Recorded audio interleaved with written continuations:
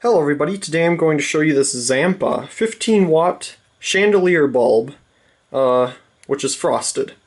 Now you're probably thinking, well that's an ABCO package and it says a 25 watt bulb, not 15. Well I got this at a local restore.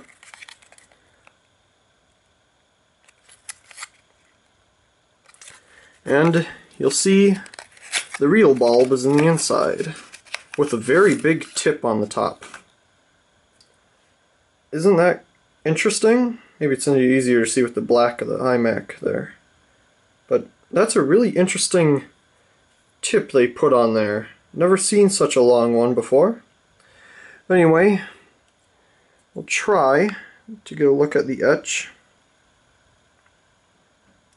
It's, it's really hard to read, it's kind of fading away.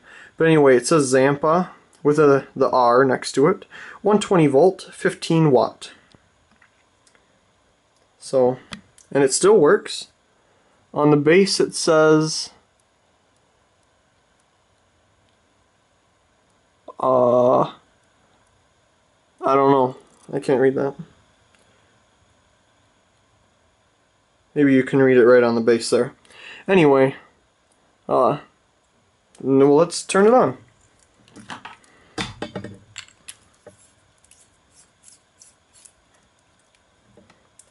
Turn off this big light.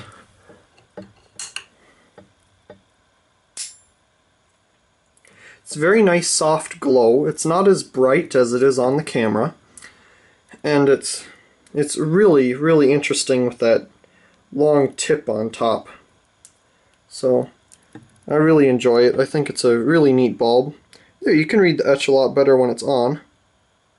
You can see it has a very interesting filament in there. Goes up and down and all around. So, overall, a very nice bulb. So hope you enjoyed this video of my, oh we don't need the box, my Zampa 15 watt uh, chandelier flame tip candelabra based incandescent bulb. Also, please comment, rate, and subscribe, and thank you very much for watching.